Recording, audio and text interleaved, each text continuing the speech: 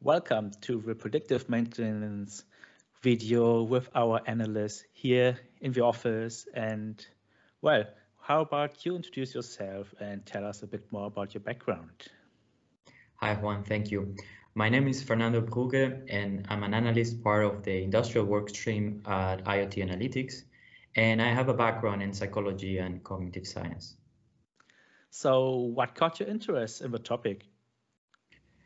Uh, what caught my interest was the fact that predictive maintenance provides the proper context for showcasing the power of artificial intelligence in industrial settings. So for example, by leveraging, leveraging the power of machine learning algorithms, we are able now to identify issues that not even the most experienced plant floor operator can identify by themselves. And why do you think people should learn more about the topic? I think people should learn about this topic because nowadays machine failures and unplanned uh, downtimes cost entire factories millions of millions of dollars every year. So people can discover that predictive maintenance is a fast, reliable, and highly effective way to leave behind those uh, machine failures and costly unplanned downtimes.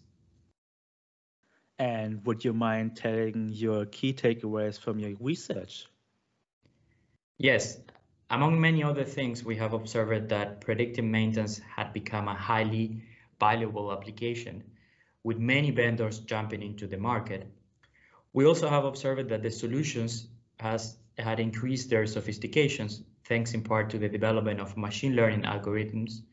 And also we have observed that predictive maintenance projects are delivering highly positive returns on, on investment at a considerable faster pace than years before. Thank you for sharing your answers. And well, that is the end of the video. If there are any more questions, please feel free to reach out to us by email or simply through our social networks and of course our website.